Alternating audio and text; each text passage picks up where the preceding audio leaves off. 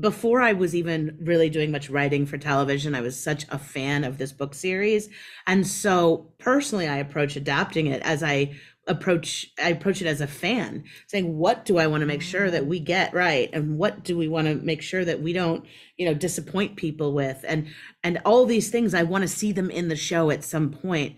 And then the writer and me and the writer with the partner and Marguerite, you know, as we like look at it from a structural point of view, we were able to make a lot of choices that will create a lot of surprises for the fans of the books who may not expect us to be telling the story in the order that we're telling it.